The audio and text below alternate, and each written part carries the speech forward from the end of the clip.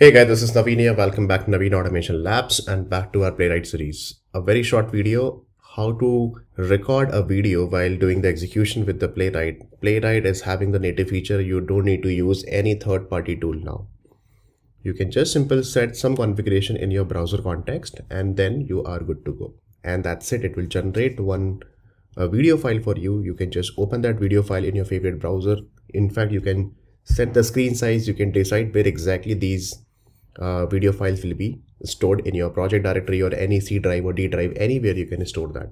So let's see how to do this.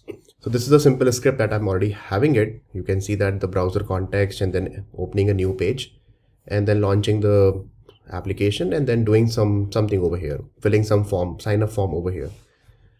Okay, so what you have to do in the browser context level, you have to set some settings. So what you just need to pass, you need to create the new browser over here like this dot and then there is one method that is uh, new context options available. And then with the new context option you have to set video recording. So there is one method that is called set record video directory over here. Can you see that?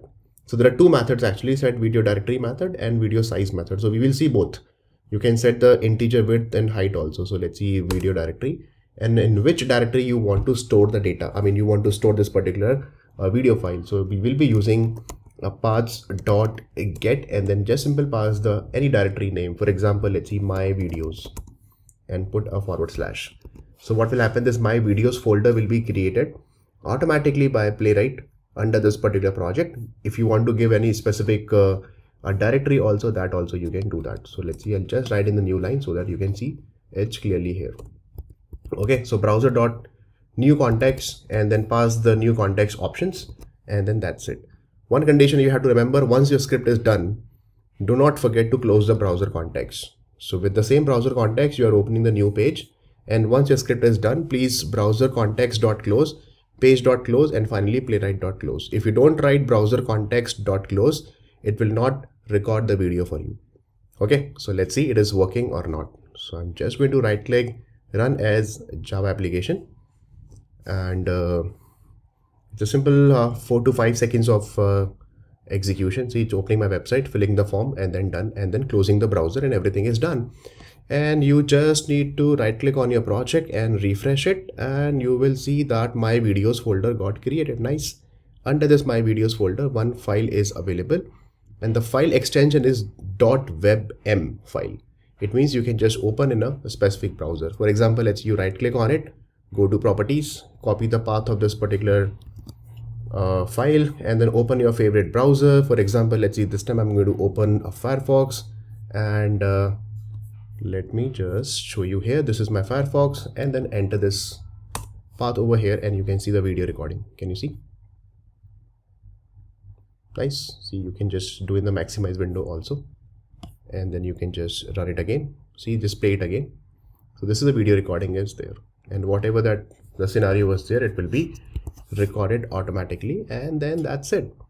If you really want to set the screen size right now the screen size is like that. If you really want to set the screen size that also you can do that. What you just need to do set video directory. After that you have to add one more option that is called set record video size. So i'll just put a dot and see this set record video size and you can give the width and height. For example let's say i'm giving the width and height is around 640 and the height i'm giving let's see 480 the specific video height and width if you want to give that.